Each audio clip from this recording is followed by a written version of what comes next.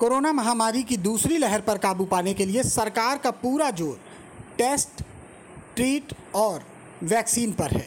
राज्य सरकार की इस रणनीति के चलते प्रदेश में पिछले 10 दिनों में कोरोना संक्रमण के चौवन हज़ार से ज़्यादा मामले कम हुए हैं।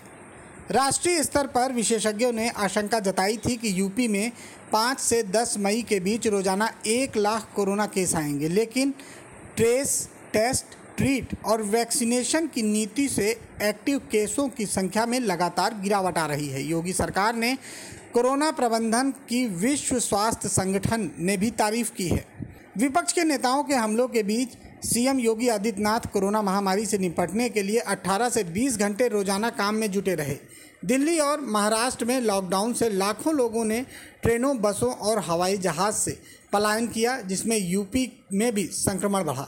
लेकिन प्रदेश सरकार ने छाछठ हज़ार निगरानी समितियों और रैपिड रिस्पांस टीम के माध्यम से ग्रामीण क्षेत्रों में अभियान छेड़ रखा है और घर घर लोगों के स्वास्थ्य की जानकारी ले रही है।